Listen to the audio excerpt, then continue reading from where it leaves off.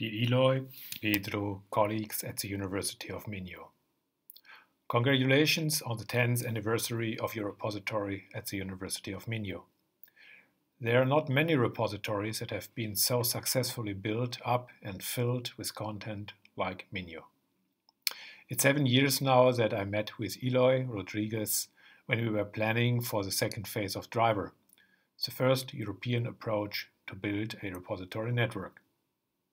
Today, our joint project, OpenAIRE, is a flagship open access infrastructure project in Europe, and the University of Minho is one of the core partners coordinating national open access points in Southern Europe.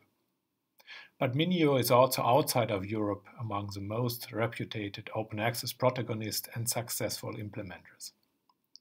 As a founding member of COAR, the Confederation of Open Access Repositories, Minho is instrumental in to facilitate interoperability of repositories worldwide.